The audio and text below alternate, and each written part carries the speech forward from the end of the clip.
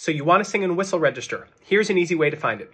Now, the one thing I want to start with is whistle is unbelievably soft. Whatever volume you expect it to be, I want you to half it and then some. If you push too much volume, it can make this feel uncomfortable. So aim to be as soft as possible.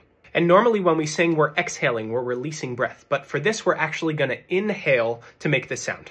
So what I want you to do is make this sound, ha, and you're going to feel your vocal folds close together.